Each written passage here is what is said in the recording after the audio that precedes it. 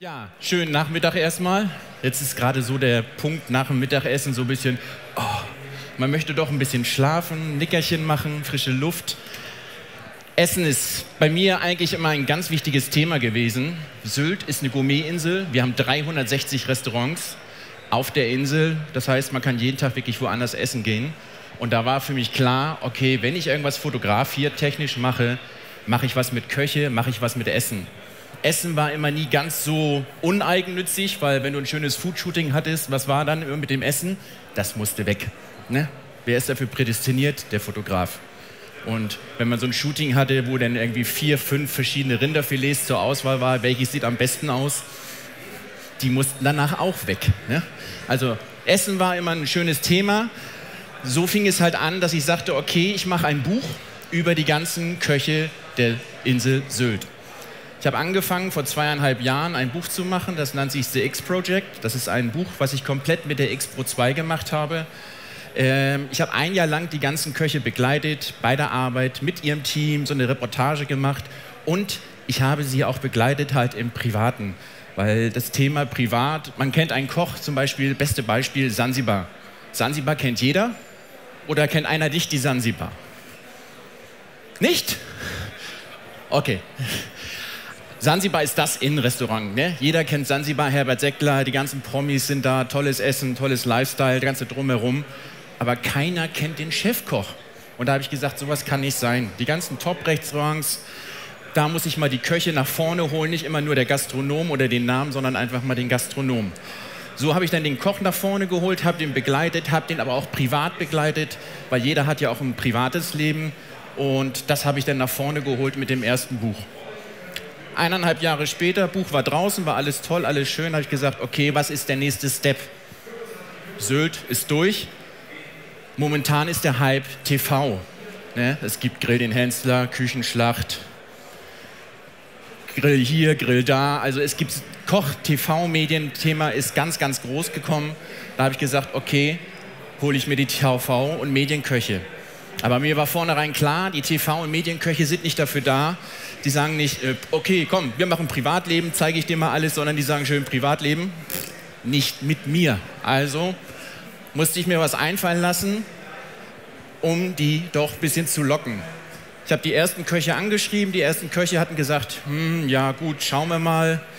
So, da war mein Name noch nicht bekannt genug in der Kochszene. Die sind ja alle schon so leichte Diven und die wollen ja auch nicht sich von jedem Telefo äh, fotografieren lassen. Vor allem so ein Schubeck und Lava und Amador, die kriegen täglich fünf bis zehn TV- und Fotoanfragen am Tag. Und da muss man halt dann gucken und selektieren. Mein Vorteil war, ich hatte auf Sylt gleich zwei bekannte TV-Köche. Johannes King, Zwei-Sterne-Koch, Holger Bodendorf, Ein-Sterne-Koch. Mit dem habe ich angefangen, ein Lichtsetup durchzugehen und zu sagen, okay, was kann man machen? Weil mir war klar, ich muss viel reisen, weil die ganzen TV- und Medienköche, die sitzen nicht mehr in ihrem Restaurant, sondern die sind in den Produktionen. Es war Produktion in Österreich, Schweiz, Köln war unter anderem auch dabei, Berlin, Düsseldorf. Also ich war wirklich viel unterwegs. War innerhalb von einem Jahr habe ich über 25.000 Kilometer gefahren und da war mir klar, ich brauche oder ich kann kein großes Equipment mitnehmen. Aber ich will einen geilen Bildlook haben. Was mache ich? Okay, Assi mitnehmen, drei, vier Lichtsetups, verschiedene Hintergrundsysteme und, und, und, und, und. Da sagen die Köche auch, ich habe gar keine Zeit dafür. Das Konzept, was ich dann zusammengestellt habe, habe gesagt, okay, One Light, alles in Schwarz-Weiß und fertig. Und das muss es sein, weil das kann ich alleine bewerkstelligen, kann ich mitschleppen. Kameratasche, Blitzkopf, ähm, Stativtasche und das war's. Mehr brauche ich nicht. Ne? Das Konzept, was ich dann erstellt hatte, war, das ganze Shooting mit Auf- und Abbau dauert nur eine Stunde. Und da haben alle Köche schon gesagt, wie eine Stunde? Das kann nicht sein. Weil wenn wir ein Shooting haben, dauert das drei bis fünf Stunden. Da habe ich gesagt, nee, nee, das Konzept ist wirklich so. Und das haben wir dann auch so aufgebaut. 20 Minuten Aufbau, 20 Minuten Shooting. Der Vorteil bei den TV- und Medienköchen war einfach, die kennen alle ihre Posen. Da musst du nicht sagen, komm, stell dich mal so hin, stell dich mal so hin, stell dich mal so hin, sondern die haben so zack, zack, zack, zack. Deswegen war 20 Minuten ganz schnell umsetzbar für mich.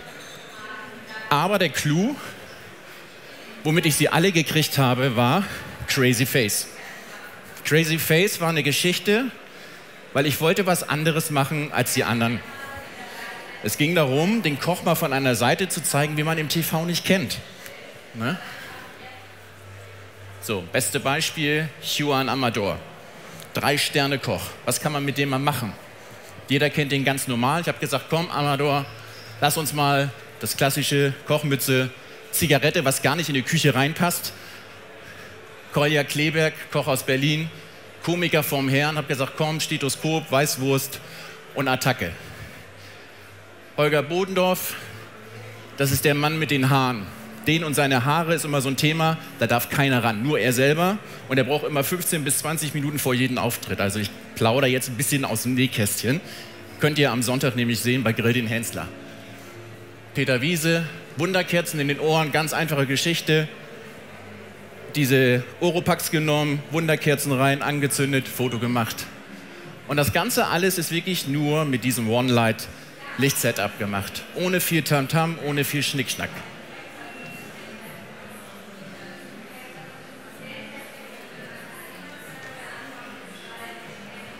Am Anfang haben die sich erst ein bisschen wirklich schwer getan. Die ersten drei, vier, fünf Köche mit Crazy Face, die mussten einfach eine Seite von sich zeigen. Das hat Überwindung gekostet. Und irgendwann, dann haben sie gesagt, was machen denn die anderen Kollegen für Crazy Face? So, und dann hat man na klar immer gezeigt, guck mal hier, der hat das gemacht, der hat das gemacht. Und dann haben die so gesagt, das kann ich besser. So, und nachher zum Schluss der ganzen Serie, also als ich dann fast fertig war meiner Reise, da sind die beklopptesten Sachen entstanden, weil einfach die Leute immer wieder einen mehr drauflegen wollten. Ne? Mit Herrn Lafer, Lea Linster, die Grande Dame aus Luxemburg, Maria Groß. Und alles immer das gleiche Licht. Das war für mich halt wichtig. Ich hatte ein schwarzes Hintergrundsystem mit, nur einen Blitzkopf, immer die gleiche Licht-Setup-Einstellung. Und somit konnte ich dann auch komplett durch die Gegend reisen und hatte immer diesen gleichen Bildlook. Ne? Und das ist das, was einfach wichtig ist, weil wenn du anfängst, verschiedene Systeme zu machen und du möchtest doch immer den gleichen Eindruck haben, dass es nicht durcheinander kommt, war das die beste Lösung. Und das werden wir jetzt mal umsetzen und jetzt zeige ich euch mal, was kann man da schön machen, worauf sollte man achten, dass man wirklich mit kleinen Sachen eigentlich ein geiles Ergebnis hat. Fabian. Mein Model versteckt sich. Okay. So, Fabian ist leider kein Topmodel, beziehungsweise Topmodel schon, aber kein Topkoch. Entschuldige. Immer dieser klassische Versprecher. So, wir haben jetzt auch wie bei den meisten Köchen eine weiße Schürze, er hat ein weißes Hemd an. Das ist immer eine gewisse Herausforderung, weil ich mache alles vornherein in schwarz-weiß. Und wenn ich ein weißes Hemd habe, das reflektiert immer extrem für mich war auch klar, ich möchte es vornherein sehr hart und markant auch vom Licht haben, die Konturen, auch dass die Seitenwangen dunkel sind. Das Problem hätte ich lösen können, indem ich sage, okay, komm, ähm, ich nehme schwarze Abschatter. Aber das war ja wieder mehr Gepäck. Also was mache ich?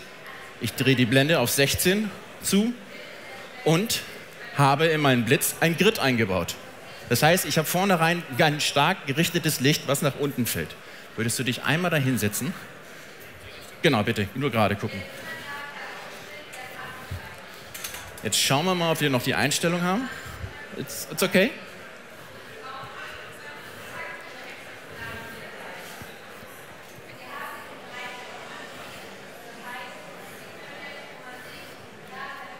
Okay.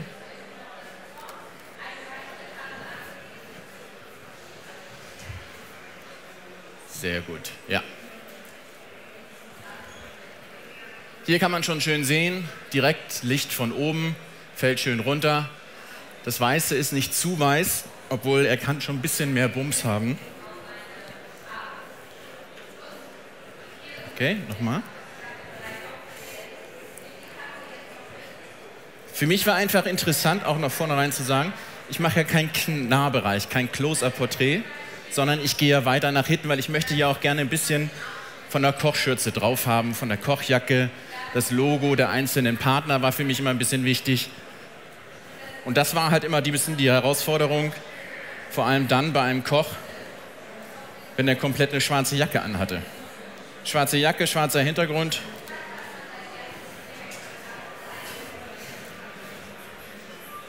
Ja, kann noch ein bisschen mehr.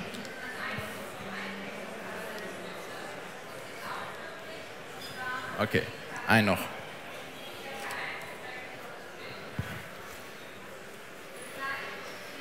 So. Das Schöne bei der Kamera, bei der GFX ist, ich fotografiere vorne rein im Across-Programm, habe gleich alles in Schwarz-Weiß. Ich sehe das quasi das fertige Foto schon. Weil wenn man ein Foto in Farbe sieht und es nachher doch dann in Schwarz-Weiß hat, ist es manchmal schon immer es wirkt vornherein schon ganz anders. Ne? Wenn ich das jetzt in Farbe habe oder ich sage das in Schwarz-Weiß, ist schon mal der Eindruck komplett anders. So, was ihr jetzt, na klar, seht, okay, er hat keine Augen, das Kinn verschwindet, weil es einfach alles zu dunkel. Lösung, ich habe den Tree Grip in Silber. Ich habe den bewusst in Silber gewählt, weil Silber macht einfach nochmal ein härteres Licht. Ich hätte das weiß nehmen können, aber dann wird das wieder zu meinem Look. Ich wollte das ja hart und markant haben. Also nehme ich den Tree Grip. Ich muss auch nur gerade gucken. Einmal.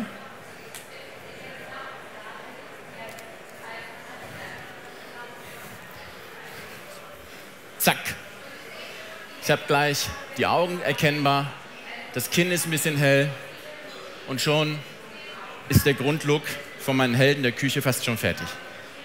Ich könnte jetzt sagen, okay, ist vielleicht ein bisschen zu viel, aber das ist jetzt leider daran geschuldet, dass ich hier nicht die Möglichkeit habe, ihn hinzustellen, weil unser Galgen leider nicht so hoch geht. Deswegen muss ich ihn hinsetzen, weil sonst hätte ich die Möglichkeit gehabt, hier jetzt den Grip noch ein bisschen zu korrigieren nach unten. Du kannst ihn auch mal halten, das ist doch eine gute Idee. Perfekt. Wir sind da. Super. Nee, einfach von unten. Halt mal von unten. Ja, ein bisschen dichter ran, dichter ran zu dir. Noch ein bisschen. Okay. Okay. Weil ich muss jetzt das Licht von oben jetzt nicht mehr kontrollieren. Weil das Licht von oben, das reicht vollkommen aus. Weil das muss ich jetzt nicht einstellen. Was ich jetzt nur noch mache, ist Aufhellung der Schatten. Und die Aufhellung der Schatten von unten kann ich nur noch durch die Höhe und Tiefe des Tree Grips verändern. Mehr nicht.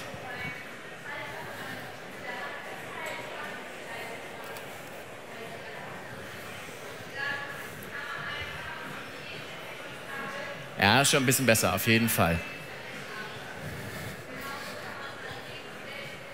Jetzt kommt das Thema, was mache ich, wenn jemand ein Cap auf hat? Setzt bitte einmal das Cap auf.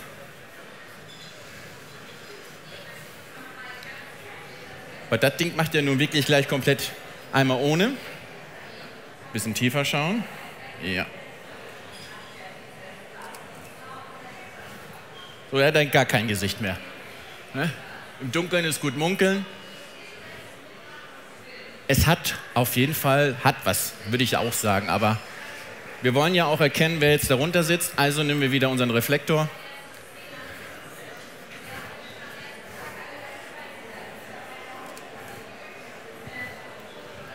Und schon haben wir das Ergebnis, was wir haben wollen. Wenn wir jetzt zum Beispiel ein bisschen bisschen abfallend nehmen. Halt den nur mal so, genau, ein bisschen so.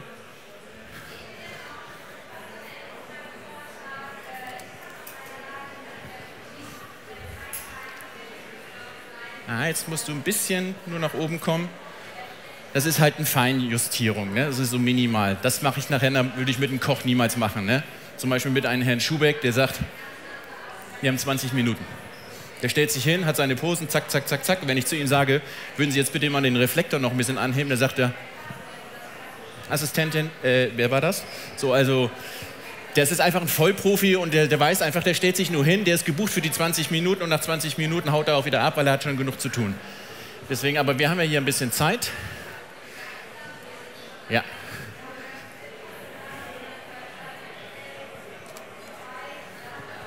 Sehr schön. Ja, das sieht doch schon mal ganz gut aus. Jetzt bitte einmal, wir machen mal doch einmal hinstellen. Super, genau in dem Winkel. Stopp. Ja. bisschen seitlich Profil stehen, andere Richtung. Ja, sehr gut.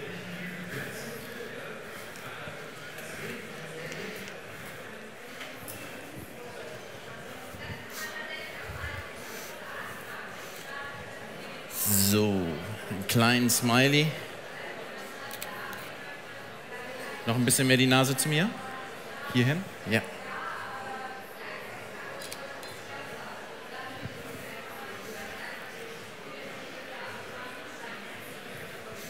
Ihr seht schon sofort, wenn man Farbe oder Schwarz-Weiß hat, das Gesicht, ne? was das ausmacht in dieser Konvertierung.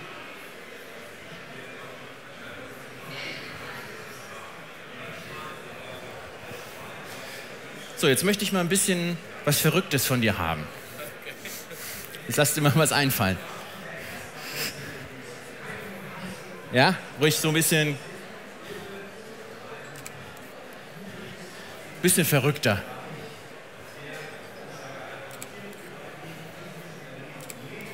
Na gut, wenn das verrückt ist. Weil das ist das Thema jetzt, ne? Man muss auf sofort irgendwas Verrücktes machen. Und das war mit den Profiköchen genauso. So, mach mal ein Crazy Face. Also, Crazy Face? Was ist Crazy Face? Ne? Äh, so, äh, warum muss ich jetzt ein Crazy Face machen? Die hatten alle in Briefen gekriegt, die wussten, warum sie es machen sollten, aber wenn es darauf ankommt, haben die sich damit nicht auseinandergesetzt. Das Beste war mit Christian Rach. Christian Rach hatte ich so viel Spaß mit Crazy Face. Der drehte durch. Ne? Der hat das erste Crazy Face gemacht, hat so seine Posen gemacht, seine Managerin stand neben mir guckte ihn an, sagte, Christian, hast du gerade einen Schlaganfall? Was ist da los? Letzte Woche bei der Party, da hast du Dinger gemacht. Und dann hat er losgelegt, hat einen auf John Travolta für Arme gemacht und das ist dann einfach geil. Man zeigt einfach den Koch und davon lebt das Ganze nachher einfach. Dieses, dieses Grimassen machen, das anders sein als die anderen und damit sich absetzen. So. Aber Fabian macht das auch sehr gut. Ja, sehr schön. Einen kleinen Tipp, wenn ihr jetzt den Reflektor da stehen habt und ihr merkt, das Licht wollt ihr jetzt nicht weiter einstellen, aber ihr müsst, ihr könnt nicht hier höher gehen, weil dann würdet ihr das Bild ja anschneiden. Welche Möglichkeit habe ich, da jetzt mehr Licht reinzukriegen? Es gibt nicht so viele. Ich habe nur ein Licht ne? und ich will jetzt aber da mehr Licht reinkriegen, aber ich will hier nicht mit höher gehen. Ich habe hier so Wäscheklammern mit. Wäscheklammern ist immer ein gutes Werkzeug. Ihr nehmt einfach den hintersten Teil des Grids, weil der hier ist nur zuständig, hier reinzufallen, das Licht zu reflektieren. Der hier, dieser Bereich, macht kein Licht hier, sondern hier in diesem Bereich habe ich nur das Licht für ihn und der ist eigentlich nur der Reflektor, der es zurückschmeißt. Habe ich hier aber nicht genug Licht, weil ein Grid frisst mindestens ein bis eineinhalb Blenden wirklich das Licht und das ist einfach eine Menge. Also einfach mal den Grid hier hinten mit der Wäscheklammer festmachen. Zack. Zack. Und schon habe ich hier hinten in dem Bereich viel mehr Licht, was reflektiert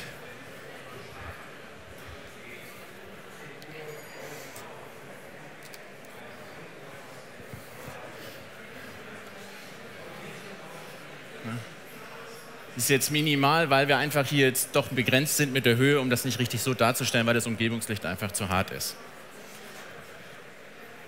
Das war es eigentlich von meiner Seite. Ich, ich, mag es gerne kurz und knackig.